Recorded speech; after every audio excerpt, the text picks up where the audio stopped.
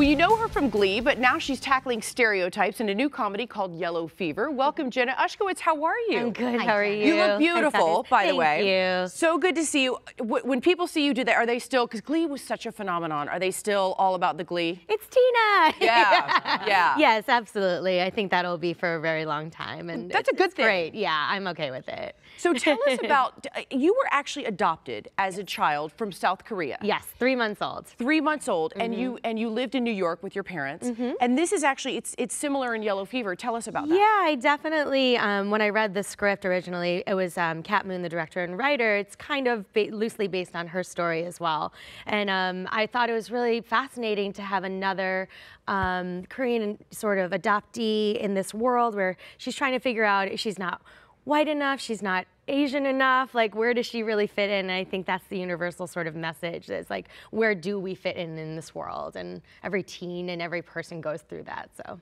Well, even talking to you, you seem so self-confident, like you have so much self-esteem. but did that ever, was that ever anything that happened to you where you just didn't really know where you fit in? I mean, of course, as a teenager, I don't know that it was necessarily um, driven by my ethnicity, which right. I think was, oh, I was right, very right. lucky to not feel that mm -hmm. way.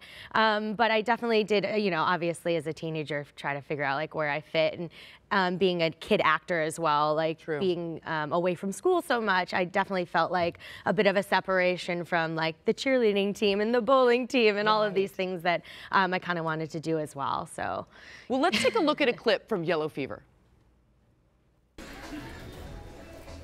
Stop that. What? Everyone's looking.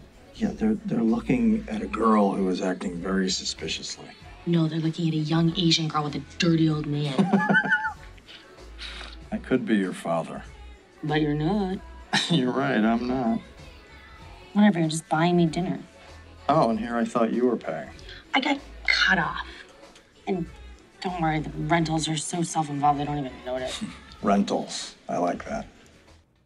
Very nicely done. You look very different there. Yes, the wig is very short. well, you know what? I always wonder when you put on wigs, does that help you get into character? Oh yeah, any kind of costume, especially even for Tina as well. Like just the blue hair and the dark makeup. Really, like I started to like be really grumpy all the time. Right, right. Yeah, definitely. A costume changes everything for me. As as an, an adoptee, would is it ever something that you wanted to do to go back to South Korea or track down your parents? I've definitely thought about. I mean, I definitely have to go back that's a, been a dream of mine. I just want the proper amount of time to go. Mm -hmm. But um, you know, I haven't. Really yeah, you don't want to go for a long weekend like we were saying. Yeah, yeah. exactly. Yeah, really got to go. A couple of days. Yeah.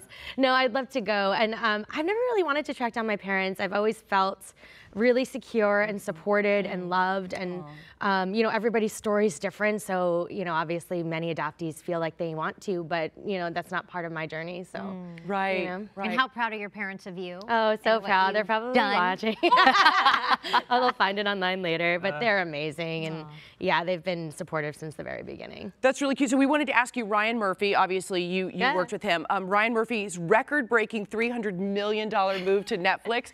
what do you think about that? Oof. Yeah. it's amazing. And, um, you know, wherever he goes, he's going to create uh, sort of, you know, raising the bar mm -hmm. in, with topics and issues that people don't want to talk about. And his work is always so magnificent. So I'm really happy for him.